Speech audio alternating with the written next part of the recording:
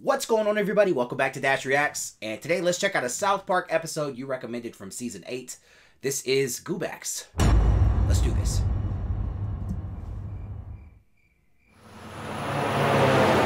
Snacky cakes. Interstate 285? Are they in Georgia right now? That's home. This episode is already starting off right.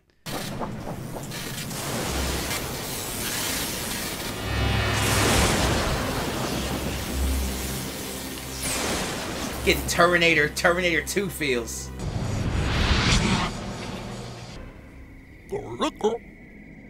What? oh man. Yes? Hello, ma'am. We're going around town and offering snow Sounds so shoveling nice. service. Would you like your driveway and sidewalk shoveled for $8,000? $8,000? $8,000 seems a little steep. How about $10? Ooh, ouch, man. Please let go of that tight grip you have on my bars. $10 is breaking my bars, man. You're breaking my balls here, huh? You're breaking my balls. How about $15? It's a deal. All right, guys, let's get to work. That's some smart negotiating. Pitching this super high price so you can haggle a better base price for your service. Man, Cartman's good at business. He's just a jerk. Yeah, yeah, was totally awesome. Craig crapped his pants when he saw it. He He should did be not. mad. Oh, dude, that is so weak. You've been on your fucking phone since we started. Dude, I'm taking a break. Exactly. A break from what? You haven't done anything. Did I not just get us an extra five bucks? If you want your share of the money, then you're gonna shovel snow like the rest of us. Don't boss me around, you fucking Jew. I will kick your ass. Ma'am, do you have a rag and some bandages? Oh, goodness, what happened? Shoveling accident. Kyle beat that ass is what happened. You're so lucky I have a sore shoulder, Kyle, or else I would have let you have it. Cartman, just keep your mouth shut. A man from the future has come back in time and is in a government hospital after being hit by a car. Experts and scientists have been with the man from the future for several hours now and have been able to learn that he is from the year 3045. Whoa. the man from 1,000 years in the future has come to our time looking for work. Uh, he has said that the future Okay. is so overwhelmingly overpopulated that there are simply no jobs in his time. And so he built a time portal and has come back to 21st century America uh, to find a job here. Wow. So that he can put the money he earns into a savings account, uh, which will earn interest, and by the year 3045 be worth billions of dollars. Uh, which, of course, in the future will be worth only hundreds of dollars, but uh, enough, he says, to feed his family. A thousand years of inflation is no joke. Aaron, I'm standing at the time portal, which scientists say follows Terminator rules. That's That what is, said. it's one way only and you can't go back. This is in contrast to, say, Back to the Future rules, where back and forth is possible. And of course, Time Rider rules, which are just plain silly. That's awesome. They found a man from the future. We know, Stanley, we've been watching. It appears another person from the future has just arrived. Oh. It looks as if the job at Wendy's did work for the original immigrant. This second arrivee claims that man's family is now much better off and wishes the same for his family. Oh, just send them all through.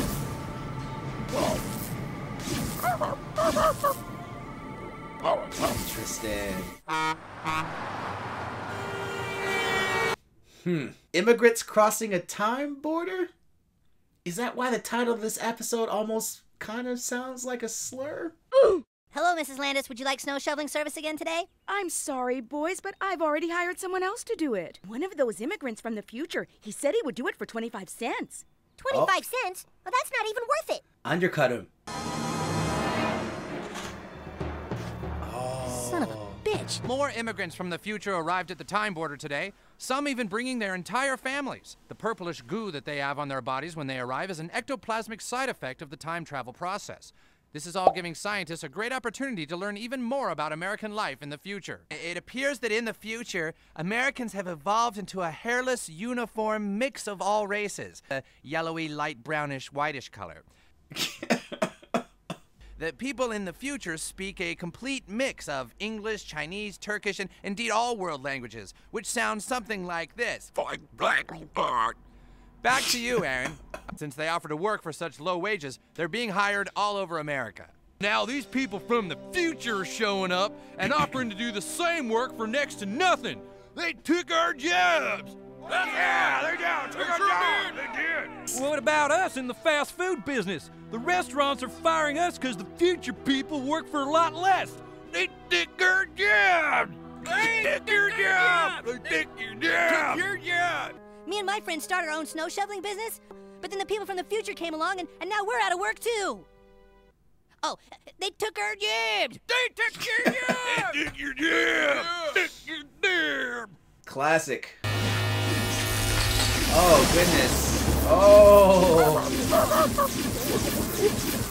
It's almost 8 o'clock. Where have you been? I was at a rally to protest all the immigrants from the future coming in and trying to. Oh, Oh, yes, oh. the laundry machine is down in the basement, and our son is home. Could you please set the table for dinner? That's our new housekeeper, Mrs. She's gonna help around the house on Tuesdays and Thursdays. And she'll do it for 10 cents an hour. Those goobacks are taking our jobs! Stan Marsh, how dare you use that time bashing slur? They're only taking the small menial jobs that nobody else really wants to do. Those people from the future have had a hard life. Where they come from is dirty and overpopulated and poor. So for us who have everything so good, to judge them is wrong. Do you understand? Next time you think about calling them goobacks, you might want to just stop for a second and think about how crappy the future really is. We're not raising our son to be an ignorant time cyst. Time cyst? I know, a racist, but against people, People from, from the future. Right, got it. All right, good. And now, here is Bill O'Reilly. Do it live! I can, I'll write it and we'll do it live! Now, I've got two guests with me tonight who have opposing views on the matter. On my right is pissed off white trash redneck conservative, Thanks for having me, Bill. and on my left is aging hippie liberal douche. Hello. These people from the future are taking all the work away from us decent present day Americans. They took our jobs! They took our jobs! It's typical for conservative rednecks like these to view the immigrants as the problem. But Left and really, the problem is America. It is our greedy multinational corporations that keep everyone else in poverty. Your ancestors came to America as immigrants. What right do you have to turn these people away? All right, redneck, your rebuttal? Hmm. They took our jobs! they took our jobs! The school board has mandated that I must now teach class in both present day English and future speak. Remember that there are transitive verbs such as the boy threw the red ball, which in future speak, of course, is. Everyone say it with me. Greg. Greg. Jimmy. The 1115 bus from Denver arrived 12 hours late. Or in future speak, What? If they want to live in our time, then they should learn our language. Yeah, right. Hey now, these immigrants have a right to retain their culture. Where did he Who come are we from? to say our language is best? They deserve to have an education just as much as you do. the sad girl puts balls in her mouth. Or in future speak, of course, balls. Dear intolerant rednecks, we sympathize with you all losing your jobs. However, we feel your solution of shooting everyone who crosses the time border is inhumane. They can't do that. That was a good idea. So it appears it? the government ain't gonna help us. The only way to stop people from the future is to stop the future from happening. There is no future, then there'll be no people from the future to come back and take our job. Wait. So, any ideas how we can stop the future from happening? How about we cause more global warming so that in the future the polar ice caps melt and, and it ushers in a new ice age? How the hell is global warming gonna cause an ice age? Chet, you are a fucking retard. You know that? Even if global warming were real, it would take millions of years for a climate shift to happen. Well, I was just trying to be helpful. Well, help yourself to a fucking science book because you're talking like a fucking retard. Now, come on, people, we've got to think. Got a DeLorean with some hydraulics on it? This is so silly, man. Can you speak in present day English, please? Oh, Can I help you? Uh, yeah, I want a double cheeseburger and fries. Chicken sandwich? No, a double cheeseburger and fries. We can't understand you, asshole. Chicken sandwich? No, not a chicken sandwich. I want a goddamn cheeseburger and some goddamn fries, you fucking goobacks. Uh-oh. Stan Marsh! Uh, ah. Hey, I got an idea. Uh, maybe we should all take off all our clothes, scramble into a big pile, and start getting gay with each other.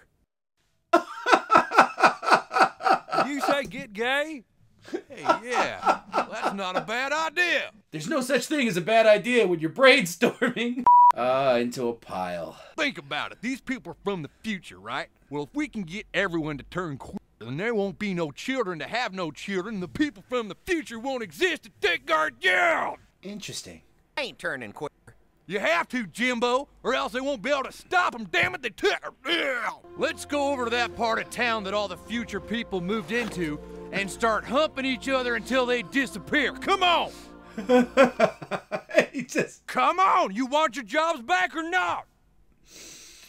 Oh, this is great. little future, like little Tokyo. All right, you future bastards. Break Think you can take our jobs? Well, we'll show you. Come on, you guys.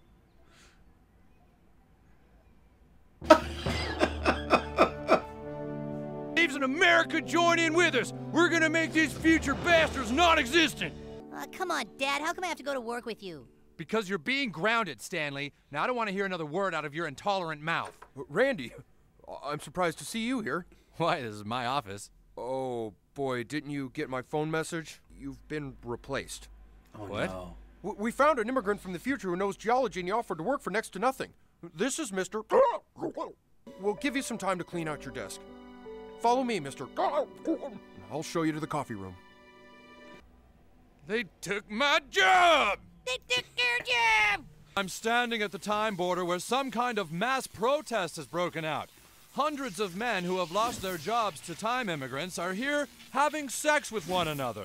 These men have apparently sucked and screwed their way across the state and are now here at the time border trying to get national attention. These unemployed men have been having sex for several days. Joining me now is their spokesperson, Randy Marsh. We're doing the only thing we can do.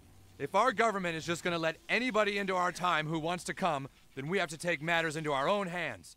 We're trying to turn everyone gay so that there are no future humans. Do you really think you can get enough people to turn gay to destroy the future of humanity? Trying to stop immigration is intolerant and ignorant. Those immigrants have a right to pursue happiness. I, I think it's wrong to call them goobacks because they're no different from us. They're just humans trying to make their lives better. It sucks that the immigrants' time is so crappy, but the cold hard truth is that if we let them all come back to our time, then it's just gonna make our time crappy too. Maybe the answer isn't trying to stop the future from happening, but making the future better. Huh? Maybe if we all commit right now to working towards a better future, then, then the future won't be so bad and these immigrants won't need to come back here looking for work. Hey, he's right. If we build for a better future, the immigrants will stay there. We've got to work for a better future. We've got to join hands for tomorrow. Take the first step and you will see the future begins with you and me. Look, it's working! The future begins with you and me. The immigrants are fading away. We're doing it! We've got to work for a better future. Take the first step and you will Song is see great. the Wait, wait, hold on. Wait a second. This is gay. Yeah, this is even gayer than all the men getting in a big pile and having sex with each other. Okay, sorry, my bad. Uh, everyone back in the pile. Back in the pile, everyone. We're going Yes. back to the pile. Jump in! Come on, everybody. We're going back to the pile. Dig it, dig. We've got to work for a better future. We've got to join hands for tomorrow. Interesting episode, incredibly silly episode, and in classic South Park fashion, it anchors to some real world issues and real world debates. And I can finally say I know where they took our jobs comes from. Thanks for recommending this one. If you enjoyed this reaction, please make sure to give this video a like, comment, share, and subscribe. And I'll catch you in the next one. Peace. Damn it, they took.